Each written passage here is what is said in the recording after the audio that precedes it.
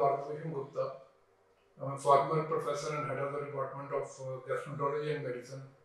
Today, I shall be discussing about one of the commonest disease entities, that is uh, fatty liver. Particularly during uh, this uh, COVID uh, pandemic, there has been an increase in incidence, uh, prevalence of fatty liver disease because most of us we chose to sit in our homes uh, during this uh, pandemic just to save ourselves from this uh, dreaded disease. Now, the question, common question which is asked by everyone is, what is fatty liver? Now, see, remember, liver is one of the most vital organs in the body. Although it weighs about 1.8 to 2 kg, but it carries innumerable functions metabolic functions, storage functions, and also it metabolizes so many drugs. Now, the fatty liver, what we call fatty liver is that normally fat is less than 5% of the total liver weight. So, once the percentage of fat increases more to more than 5%, this we call it as a fatty liver. In fact, in the last couple of years, there has been a global epidemic of obesity, and so is the increase in incidence of uh, fatty liver disease. Now, people talk about fatty liver disease as if this disease is innocuous or it is harmless. No. See, this uh, fatty liver disease, it exists in two forms. One is that it is a simple fatty liver, a simple steatosis. Now this means that there is a fat in the liver, but this fat is not causing any damage or any inflammation in the liver. But then the most important and the you know the concerning entity is NASH, what we call it as a non-alcoholic steatohepatitis. So this means that we have fatty liver, but this fatty liver is associated with inflammation. Now this inflammation can lead to cell death and cell death will eventually lead to fibrosis, cirrhosis and few of the small percentage of the cirrhotics are going to develop hepatocellular carcinoma.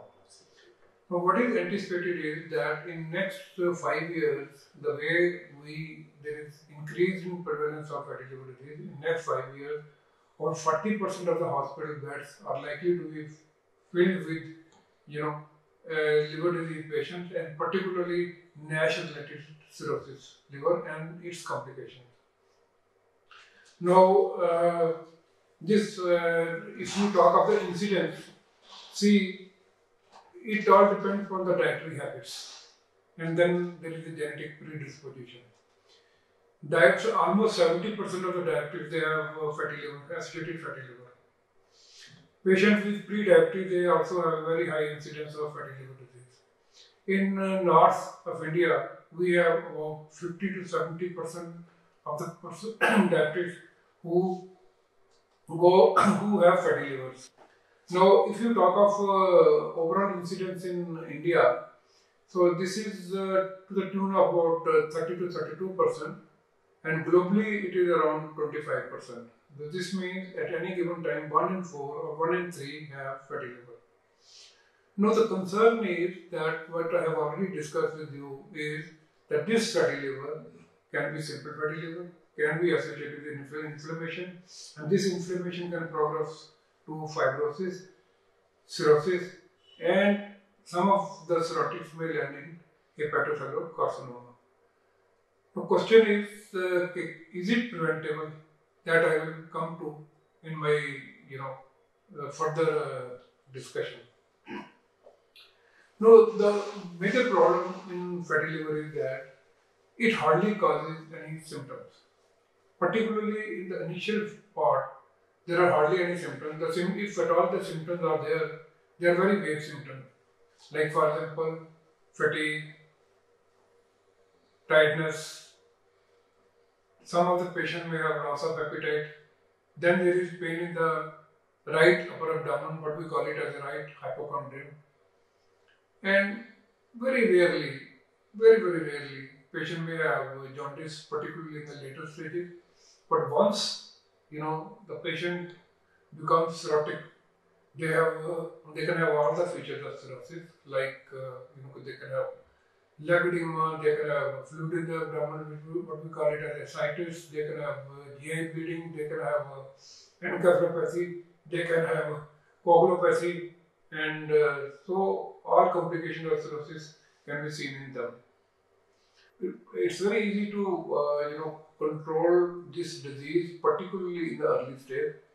See, number one is that uh, if we talk of the causes, the one of the common causes is the obesity. So the concern is that in the last uh, decade or so, there has been a global epidemic of obesity. More concern is that even the children, you know, in children the obesity has increased globally. Now, almost 7 to 9 percent of our children they are either overweight or they are or they are obese. During this uh, pandemic, uh, you know, uh, because uh, many of the children they are not going to the school, they are not playing, you know, there is hardly any activity within the home.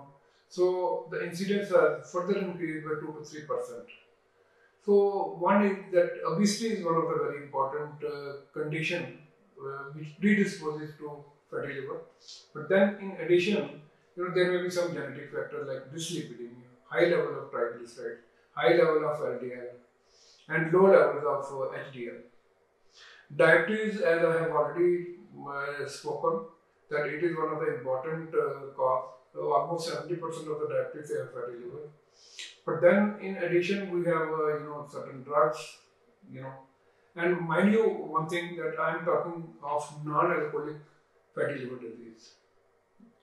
It's not uh, alcoholic because uh, another cause of fatty liver disease is alcohol. So we are not discussing alcohol here. So uh, you know, uh, so obesity, dyslipidemia, you know, uh, diabetes, they are one of the important causes of fatty liver, along with you know other conditions like you know you know, which can cause fatty liver, like for example, some of the drugs can cause fatty liver.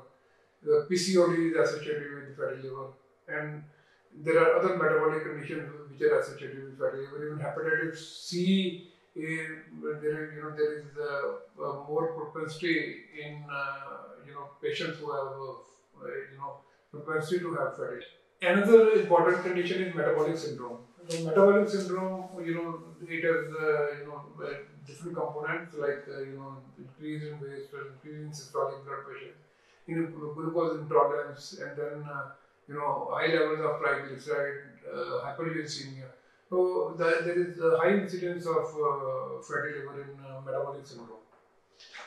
Now, uh, see how to investigate. See, in, most of the time, it is an incidental detection you know, during a routine lab parameter, a routine lab investigation, or person goes to doctor for some different reason and doctor examine the patient and find that this patient has fatty liver. Now, once uh, you see a doctor diagnoses uh, the patient uh, to be suffering from fatty liver, or once uh, you know abnormal parameters are there, then you know you require investigations. Now, investigations are simple, they are affordable, and they are available almost in every corner of the country. The simplest investigation is, you know, what one goes through is ultrasound examination.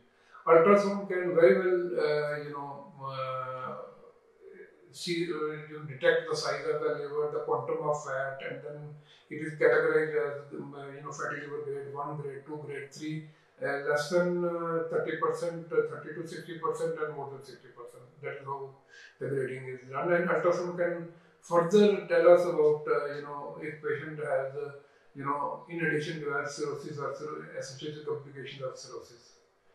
Now, uh, if you go with the lab parameters, uh, one of the most important lab parameters is liver enzymes, particularly ALT, AST. You know, the elevation, once you find elevation, you need to investigate.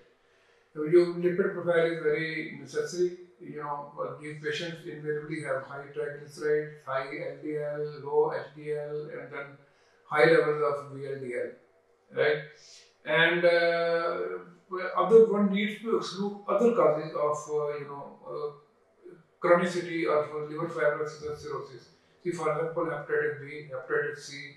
One needs to exclude uh, certain metabolic causes like uh, hemochromatosis, Wilson disease, and there are so many other conditions uh, you know which require other uh, investigations, uh, you know, these two investigations will uh, you know sort out the problem in about 90 to 95 percent of the patient. But then in some subset of patients, you one may go ahead with CT scan or MRI.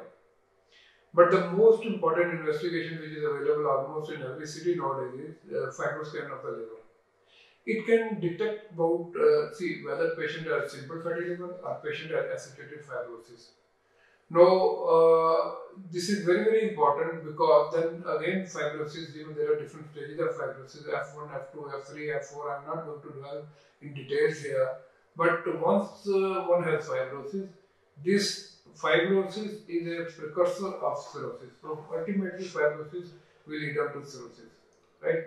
So, uh, once patient has cirrhosis, then patient, you know, uh, the investigations uh, required are endoscopy, and uh, you know other investigations which are related to the uh, you know cirrhosis.